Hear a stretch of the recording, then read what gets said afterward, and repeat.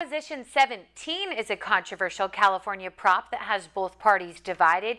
It aims to give voting rights to convicted felons on parole. News 11's Gianella Giglino explains both sides.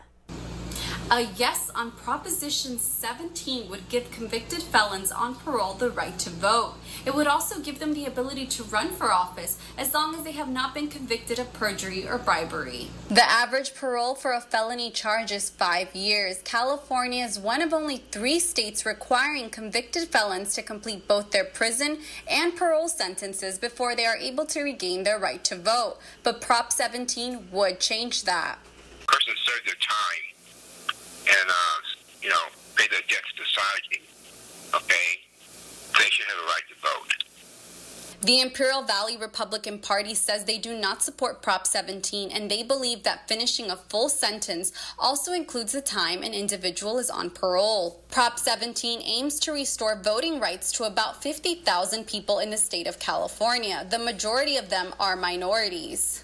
Um, to right the wrongs of the Jim Crow laws that still have a, a, cloud over California's constitution when it comes to disenfranchising black and brown, indigenous, and Asian communities.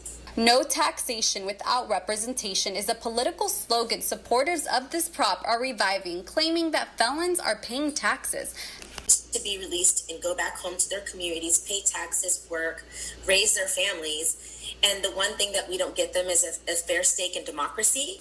Prop 17 will be on the ballot this November. The last day to register to vote in California will be October 19th. Reporting in El Centro, Gianella Giglino, News 11.